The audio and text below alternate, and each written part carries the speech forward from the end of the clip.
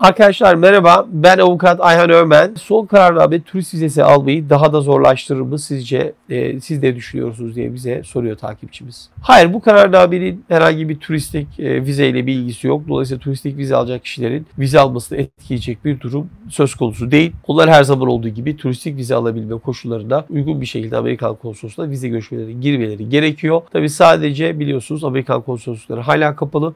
E, yavaş yavaş açılmalarını bekliyoruz ama açılmadılar. Dolayısıyla bir tek bundan dolayı turist vizesini alamama durumları var. Yoksa bu karardan dolayı etkilenme durumu söz konusu değildir deyip takipçimizin sorusunu cevaplamış olalım. Müzik